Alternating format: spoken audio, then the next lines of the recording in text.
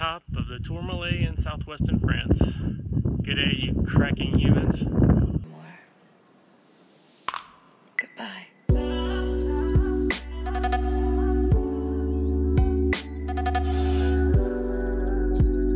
Good morning, legends. It is absolutely Arctic monkeys out here this morning.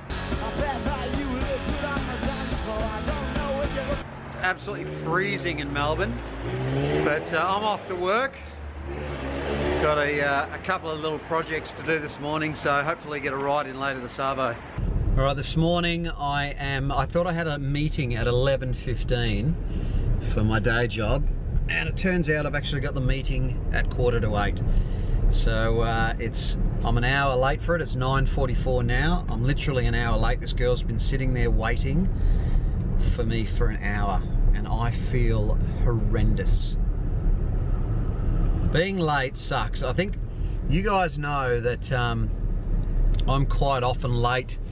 I'm quite often late to a lot of things and uh, I think it's if there's one area of my life that I would want to improve and work on it's being punctual because it's really disrespectful to the other person when you're late to uh, to things well, there's nothing worse than being late being stuck in traffic. Tears tears.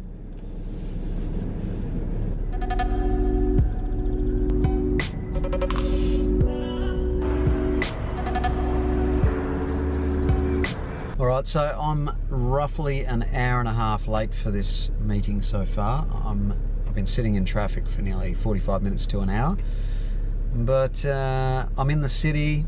I'm just probably 10 minutes away from the meeting, and uh, hopefully there's two people waiting for me from a company that I've never met before. So this is awesome.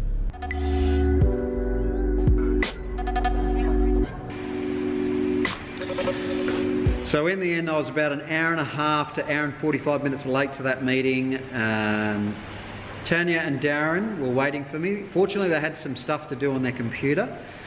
But mental note, no more being late. That is my, that is my 2016 and a half years resolution.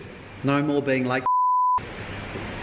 So I just did a, uh, an operation. Uh, I was in with a, a very prominent surgeon uh, in Melbourne, uh, Val Usatoff. He's one of the senior surgeons here at Western Health.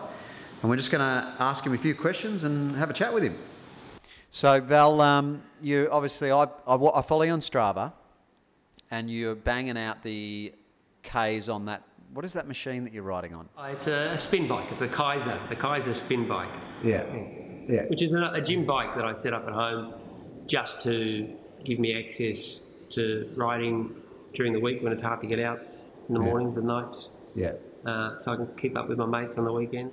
So you're a, you're a very busy surgeon at Western Health, one of the senior surgeons here. Uh, Um, I mean, obviously we know surgeons, doctors, they work a lot of hours.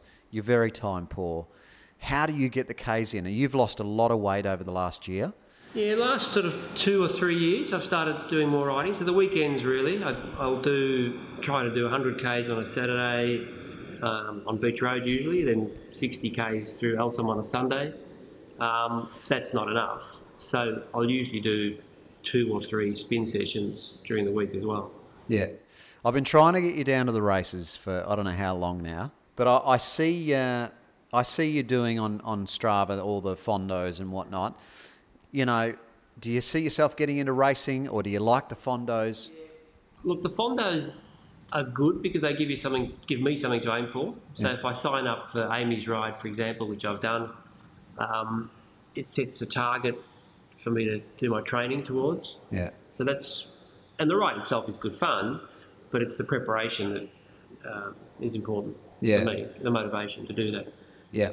Do you follow any uh, specific training regime? Is there any books that you read, or how, I mean, how do you know what to do? Yeah, I've read a lot of magazines, Yeah. uh, watching your vlog. Um, the I paid him to say that. GCN have um, information. There's Trainer Road have sort of programs, but it's what I can get in. So I'll do.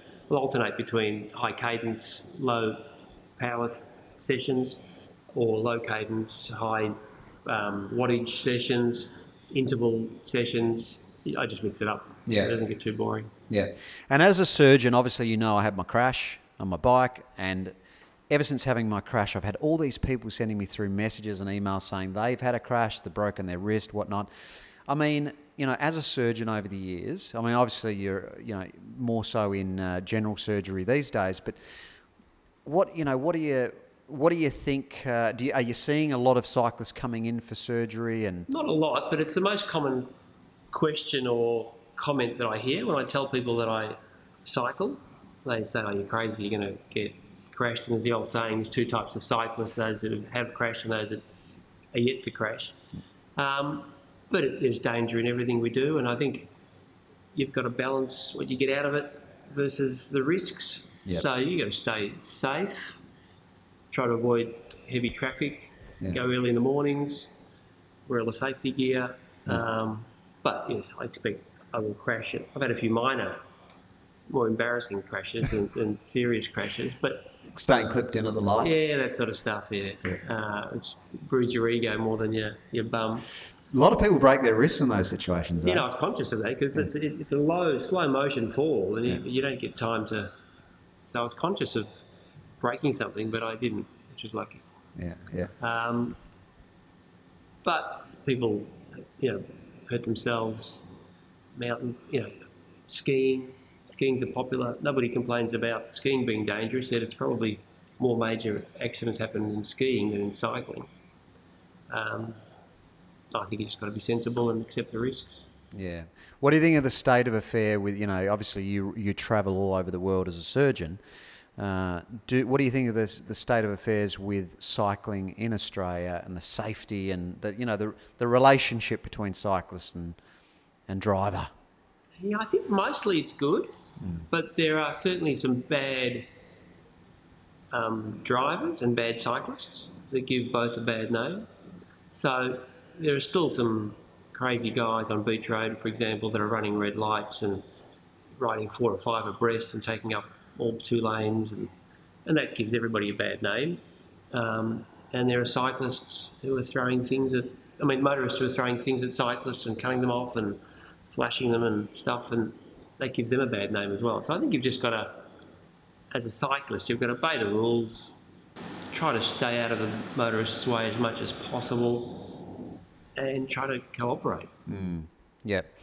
Uh, you know, obviously you work, being a general surgeon, you see a lot of large patients, a lot of over, overweight patients, obese patients. Do you advocate any particular diet? I mean, what are you telling these people? And is it frustrating as a surgeon? Sort of, I mean, yeah, it's frustrating because everybody knows. There's nobody watching this that wouldn't know that if you exercise more and eat less, you lose weight. It's a pretty simple equation. Yet people are surprised to hear that and have enormous trouble doing that, and for lots of reasons, obviously. Um, but you can do it. I did it. I lost about 20 kilos over a two year period just by eating a bit less and exercising a bit more. Yeah. I still go out and have a drink, and I still like dessert and chocolates, and but you just got to moderate it and Yep. be sensible. Yeah. But people have a lot of trouble doing that, and they end up with secondary problems, arthritis, heart, you know, heart problems, blood pressure, etc., etc. Um, and the solution to it all is their weight. Yep. I mean, obviously, uh, you're very, very, uh, you know, it's a big part of your daily job to, you know, uh, operate on people who are obese and overweight. Um, in the in the medical industry, and, and particularly in your world, is there a lot of obviously, you know, there's a lot of plant based talk on the internet. You know, a lot of people not eating meat, vegans, eating a lot of plants. Is there literature coming out that a plant based diet is a better diet? Oh, look, it's not really my area of expertise, but there's certainly the things that get popularity with that Michael Mosley 5-2 diet. That got a lot of traction with people, and some of my colleagues have been doing that. So I think people still like, people that I hang around with like to eat meat and like to have a glass of wine, uh, but they're certainly more conscious of things like the 5-2 diet and cutting back. So I don't know many people that are totally vegan or, or vegetarians, but you can hear even my young daughter, who's, who's 14, is talking more about these things that she sees on um, Instagram, and and her friends are talking about vegan and vegetables, and so I think it's getting traction. Yep, yep. You know, obviously, uh, there's I don't know if you've heard of Durian Rider and Freelee uh, on, on uh, you know they're obviously plant based. You know, I mean, do you do you do you watch YouTube and see these guys? Well, look, I watch I watch your channel, Mark. Obviously, who doesn't? Um, and yeah, I see a Durian Rider pops up occasionally, and he's a bit of a a, a nutter. I was going to if he sees this, he'll he'll troll me, I'm sure. Um, but he's got extreme views, and that's fine. He's pushing his extreme views and, and making a living doing that. But I think people have to be sensible.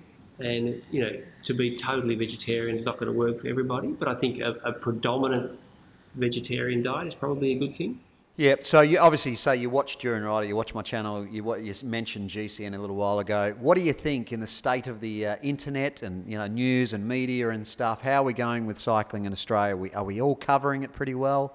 I think it's interesting. I was talking to somebody last night about um, the changing role of media. So people are looking to YouTube, for example, or the internet to find the media that they want, and not necessarily be force-fed what Channel Seven or Channel Nine wants to give them. Um, and that's where YouTube, I guess, fills that gap because people can find exactly what they want to watch, uh, whatever niche fishing show or cycling show that they want to follow. Um, and the fact that you know little startup uh, vlogs like yourself can get 10,000 subscribers is a testament to that. People are looking out for those sort of products. So I think there's a niche for it, and I think it'll grow. And I think the big, the mainstream channels will will probably start feeling the pinch more and more as more, particularly as the advertising dollar moves specifically to YouTube and to Instagram and so on. Yeah, yeah. Well, Val, the next time we have this conversation, or the next conversation, I want to be vlogging it from our bikes down Beach Road. All right, deal. All right, done deal. All right, I'm just I've just left work. It's getting pretty late in the day now. I'm heading over to meet up with uh, the orthotics guy, Jason, and we're going to put his specially designed wrist brace on my wrist, just for riding and things like that, just so I don't break re-break it again. So you've ridden from France? Yes. Awesome. Where are you headed? Uh, Melbourne, Uh, and then where? Then Sydney. uh, Sydney, Yeah. Sydney, Cranbourne. Enjoy. Thank you. Take care. Bye. How awesome is that? They've just ridden from France and riding to Melbourne. I love that. I would love to quit my job and go do that. And then po- you couldn't post videos every well, couldn't post post videos regularly anyway.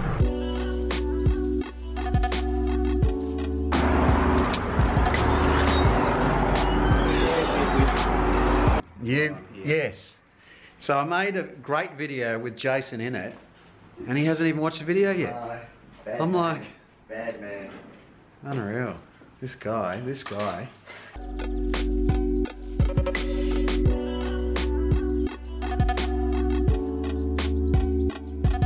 I just left Jason's place, but he's given me a uh, an orthotics uh, brace that I have to wear. He said to me I have to wear it for the next few weeks, as much as possible, and um, not in the shower and not to bed, but as much as possible, so that it heals properly. Apparently, it takes eight weeks for a bone to heal properly, and it's only been about well, it's probably been six weeks for me, but you know, I took my cast off early and things like that. So anyway, we'll see. I'll try to wear it as much as possible, and uh, should be good to go pretty soon. This is pretty comfortable, so I should be able to wear it on the bike, hopefully.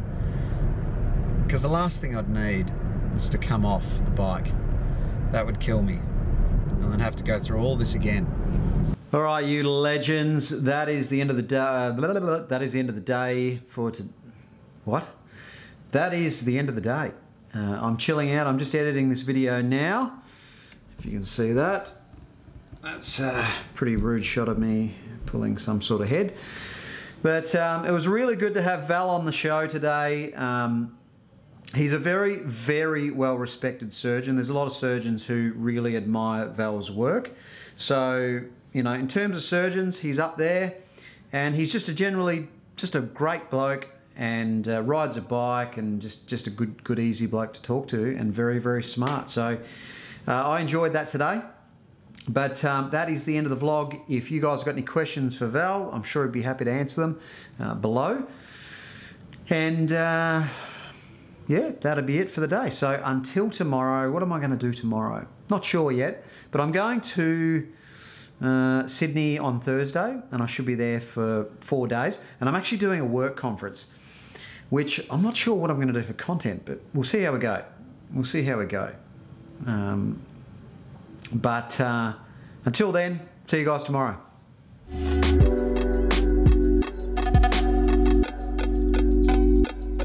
Also, I forgot to mention Ryan. Uh, we interviewed Ryan. He was doing that uh, straight ride from Melbourne to Sydney.